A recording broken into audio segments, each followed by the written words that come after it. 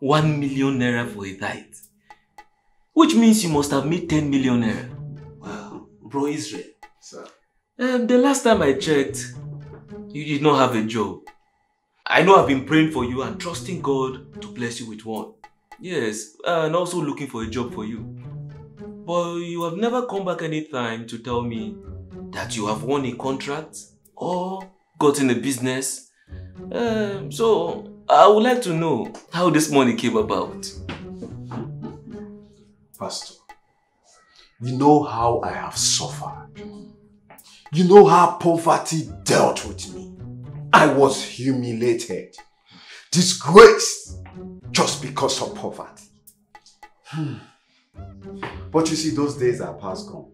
Hallelujah. Because the new me you are seeing now is a millionaire. Wow. God has done it. Wow, we thank God. yes, sir. God is faithful. Hallelujah. You know, He's a miracle working God. yes, sir. Yes, sir. You can remember the night that we, we used to gather in church to pray, fast, trusting God for a difference like this. Glory be to God. Hallelujah. Um, but Bro Israel, I still want to know what you are into currently. Whether it is business or contract. So I can pray for God's blessing upon it. Pastor, I am not into any business. Neither did I win any contract. Okay. Ah, I stake 5,000 naira on a football game and I won 10 million naira.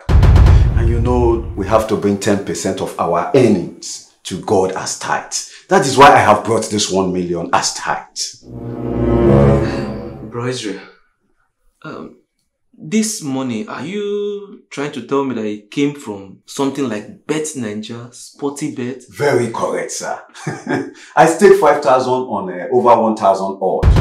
And as God will have it, He blessed it and I won. I won. Look at me, I'm a millionaire today.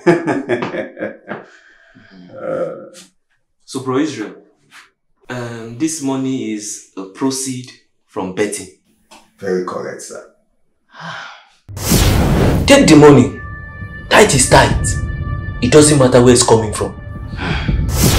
This tight you're about to take, is it right? What exactly are you talking about? He did not take anybody's life. Neither did he dupe anybody. Just take the money. Remember the project you have at hand.